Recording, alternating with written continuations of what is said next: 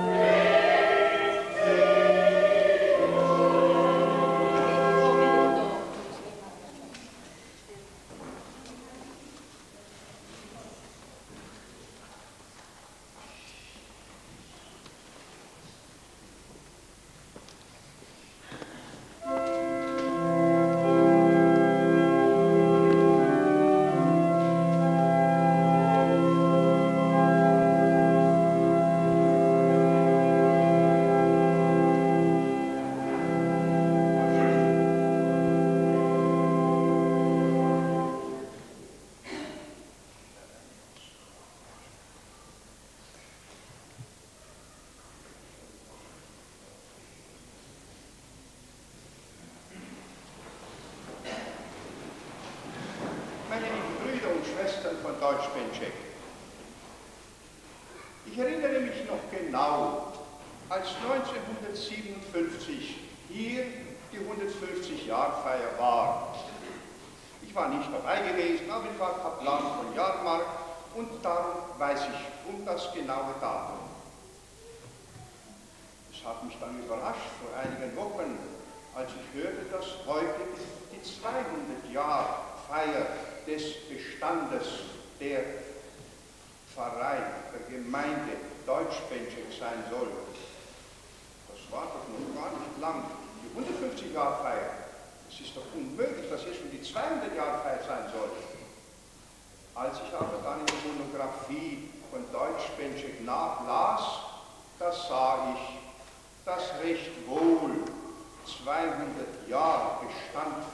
Von Deutschbenchek gefeiert werden kann. Denn 1794 schon kamen 48 Familien in das sogenannte Tal von Benček. Die kamen dann 1807, wie ihr wisst, herauf auf den Berg und hatten hier eine neue Siedlung geschaffen. 1794, 1994, das sind also recht wohl 200 Jahre und gar manche einst in Deutsch-Benschek lebende Gläubigen haben sich zu dieser Festesstunde hier eingefunden. Sie blicken dankbar rückwärts, denken an das, was sie von ihren Ahnen ererbt haben, denken an das, was sie hier an Schönem erlebt haben, im Elternhaus, in der Gemeinschaft, ich denke an die Worte Lenaus, wie er das zum Ausdruck bringt. Er möchte gerne wieder in die Gegend, wo er einst so selig war, wo er träumte seine Jugend schönstes Jahr.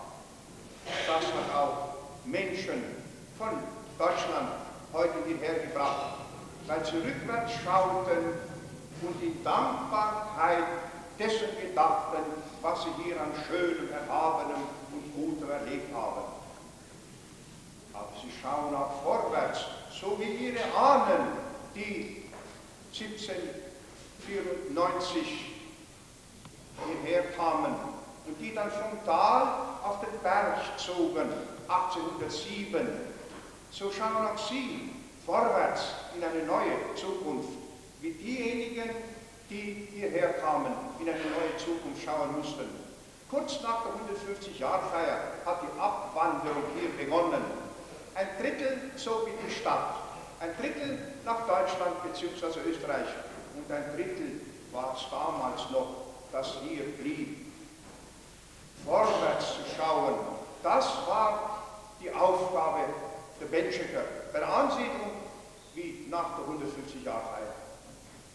Aber ihr seid auch jetzt hier im Gotteshaus und schaut aufwärts zu Gott, aus dessen Händen aller Gnadensegen stammen. In unserer Gottverbindung, in unserer Verankerung mit Gott ist uns dieser Aufwärtsblick allzeit heilig geblieben. Und durch 200 Jahre hindurch haben die Menscheker ihn bewahrt.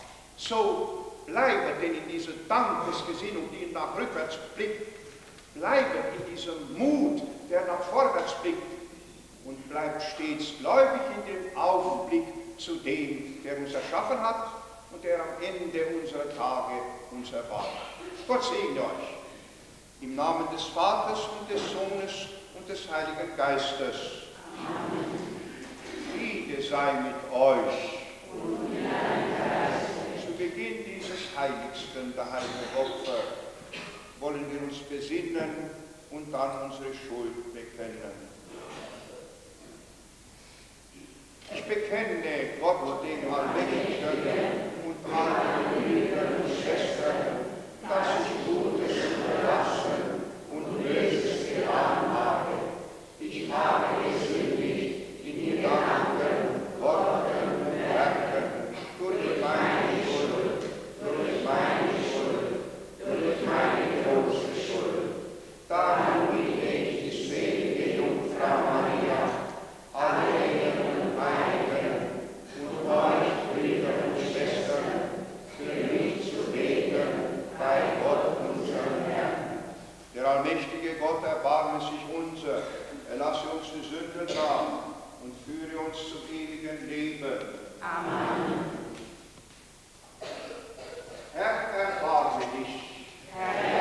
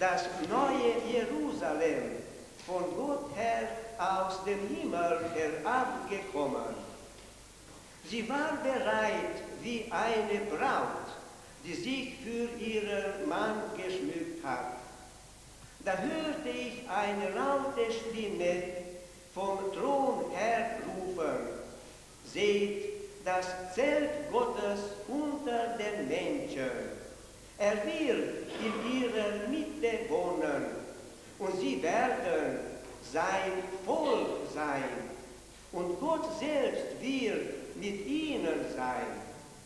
Er wird jene Träne aus ihren Augen wischen. Der Tod wird nicht mehr sein, nicht Trauer, noch Klage, noch Mühsal. Denn die alte Welt ist vergangen und jauchzen dem Fels unseres Heils. Lasst uns mit Lob seinem Angesicht Nein. Die ganzen Mitglieder der, der Herr ist ein großer Gott, ein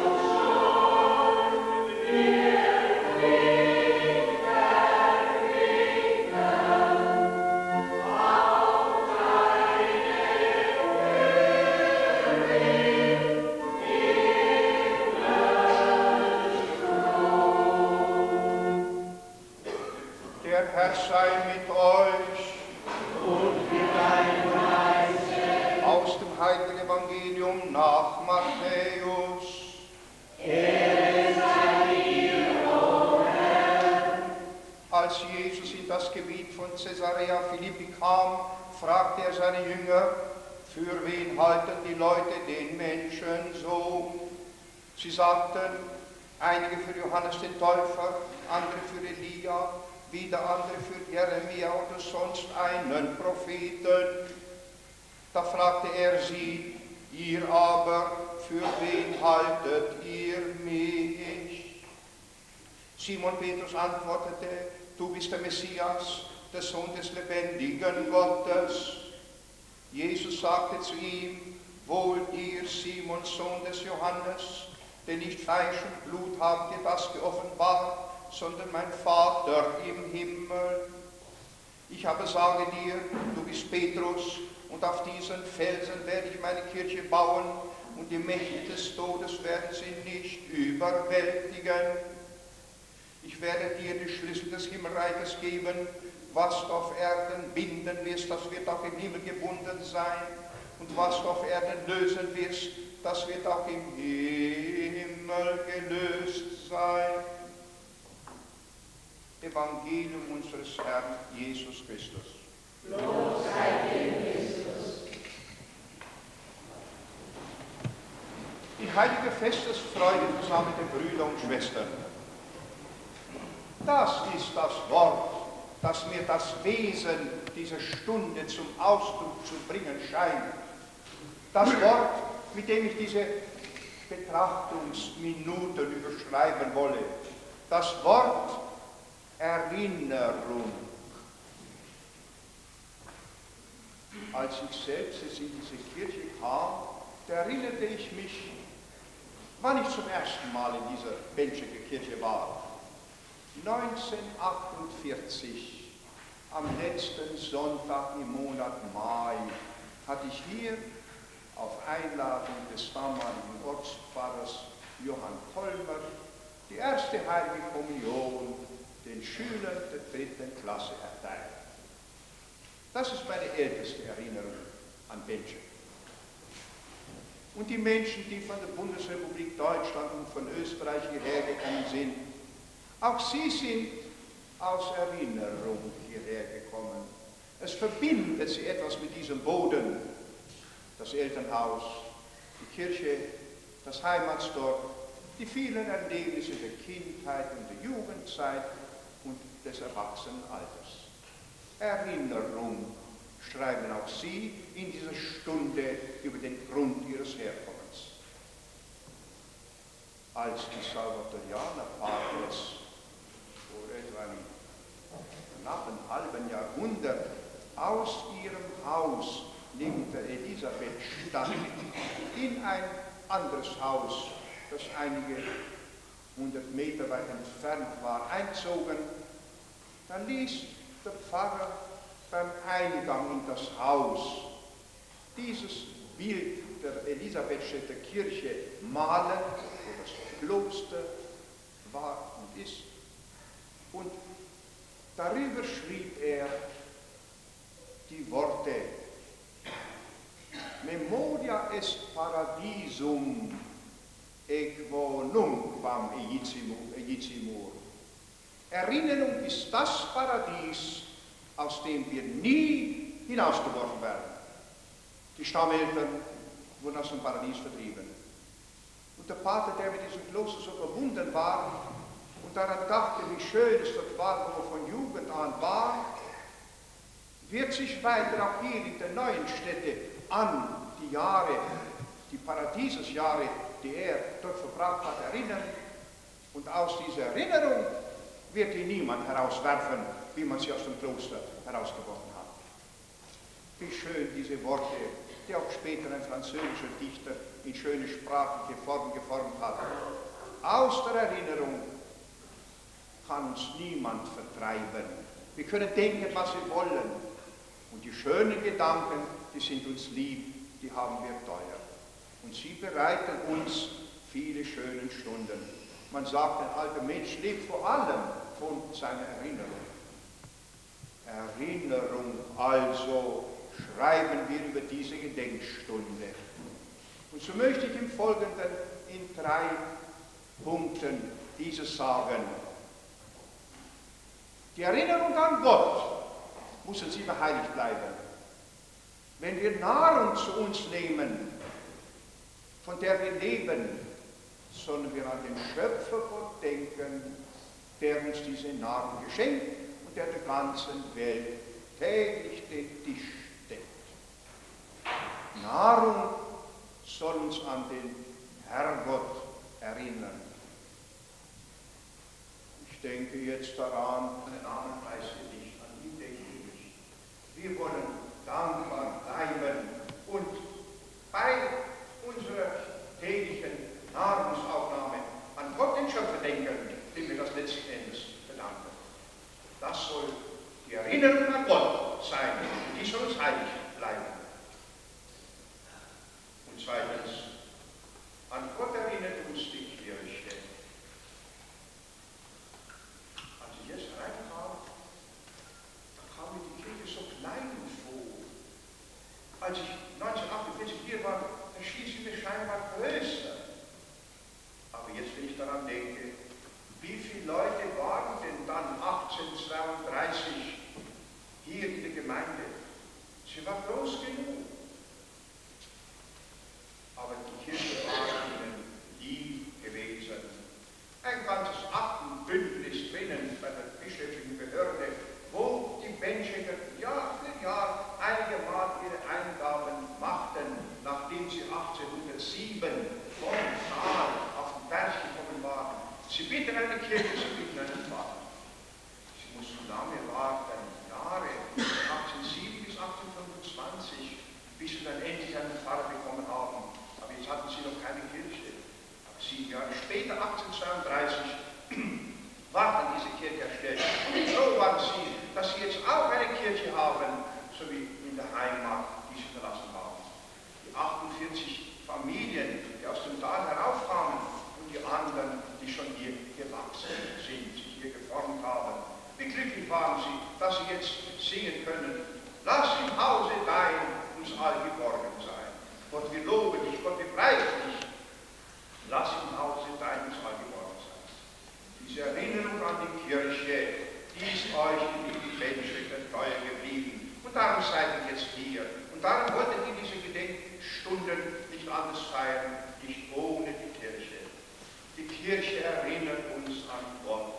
Hier werden die Blicke der Menschen immer wieder himmelwärts gehoben zu dem, der letztes Ziel unseres Lebens ist. Wie schön heißt es in eurer Heimatmonographie, dass ob einer 80 oder 60 Joch Feld hat und sieben Pferde oder ob er acht Joch Feld hat und nur eine Kuh. Die Kirche war die Brücke zwischen Palast und Hütte. Sie war die erste demokratische Raumschöpfung. Hier war alles gleich. Man hat der Kirche viel zu verdanken. Ich denke daran, wie ein Jahrmarkter Mann, der nach Deutschland in die Gegend von Münster zog, Aalen, der mir mal bei einem Besuch erzählte, dort sonntags geht der Graf mit dem Klingelbeutel. Ja, Graf und armer Taglöhner sind in der Kirche gleich. Die Kirche hat nivelliert, die Kirche hat die Gleichheit geschaffen. Sie war die erste demokratische Raumschöpfung in dieser Welt. Und vor uns gar nicht einfach Arbeiter, wenn es ein Mensch, der den Menschen an ist und ist darum Ebenbild Gottes. Wem vor allem haben wir das zu verdanken, dass ein Mensch in dem anderen Menschen seinen Bruder sah, dass er nicht sagte, was gehen die anderen als Kinder an, sondern dass er dem anderen seinen Mitmenschen sah, seinen Bruder, den er zu lieben hatte. Die Kirche ist der Ort, der uns ständig himmelwärts hebt und zeigt, wie man zu leben hat. Er lehrt, die Kirche lehrt uns die Welt mit den Augen Gottes zu sehen. Und das ist letzter Grund und letztes Glück.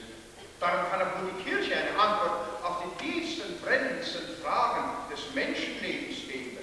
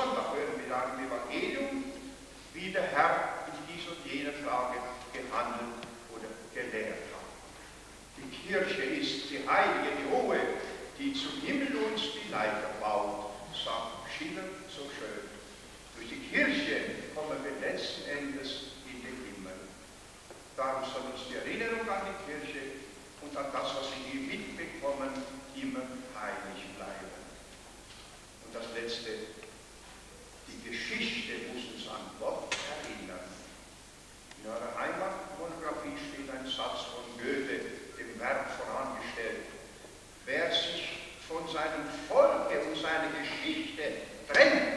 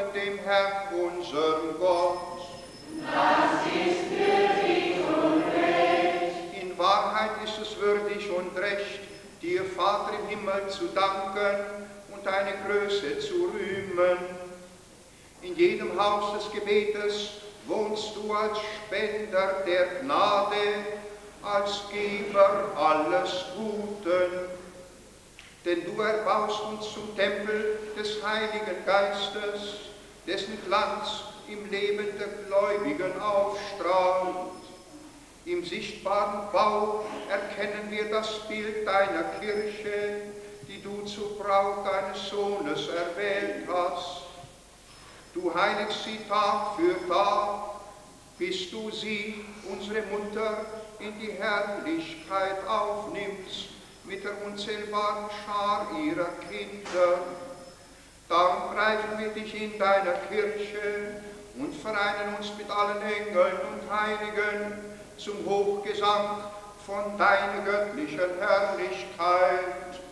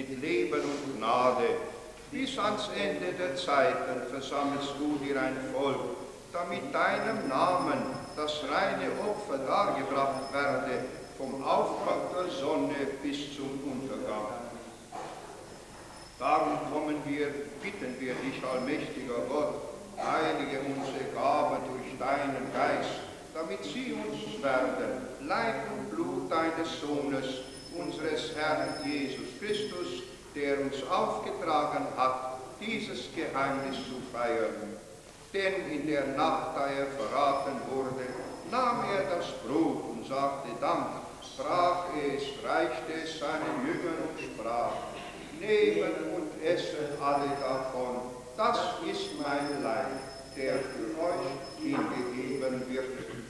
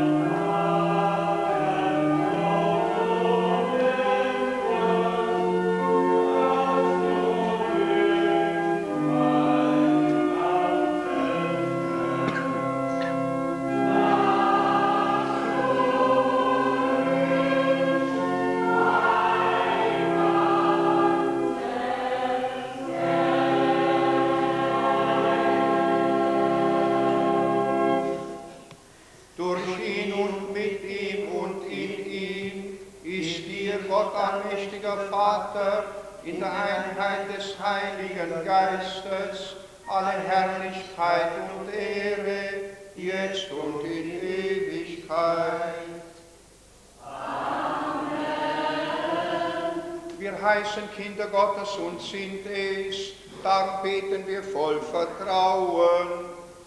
Vater unser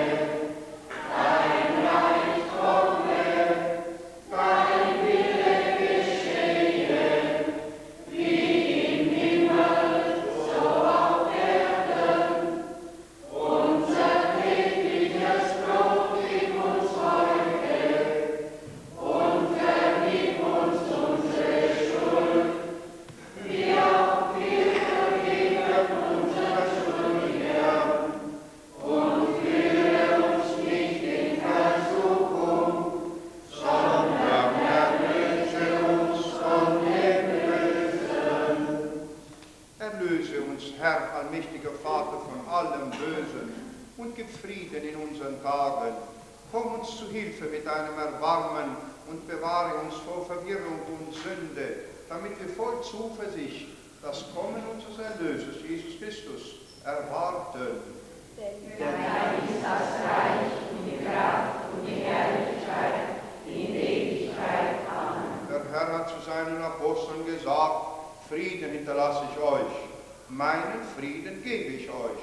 Deshalb bitten wir, Herr Jesus Christus, schau nicht auf unsere Sünden, sondern auf den Glauben deiner Kirche und schenke ihr nach deinem Willen Einheit und Frieden. Der Friede des Herrn sei alle Zeit mit euch. Und mit deinem Geiste. Gebt einander ein Zeichen des Friedens und der Versöhnung.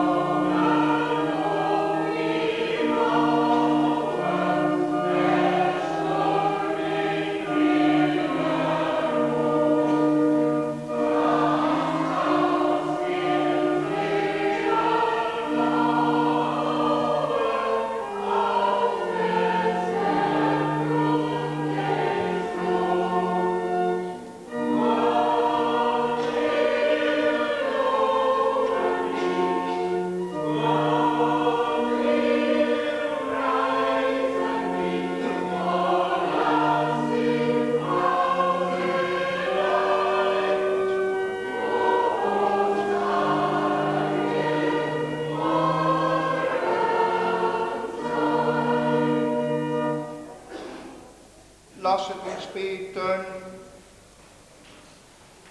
Allmächtiger Gott, du hast uns in, in der Kirche auf Erden ein Abbild des himmlischen Jerusalem geschenkt.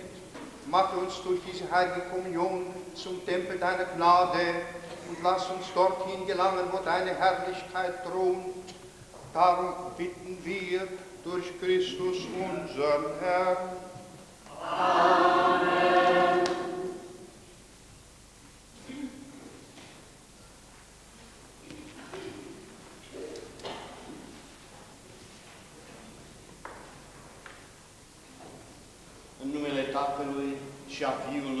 și a Sfântului Duh. Trecând Iisus, de acolo doi orbi se țineau după el și strigau și ziceau, Miluiește-ne pe noi, Fiule al lui David. După ce a intrat în casă, au venit la el orbii și Iisus i-au întrebat, Credeți că pot să fac eu aceasta? Zisau lui, da, Doamne.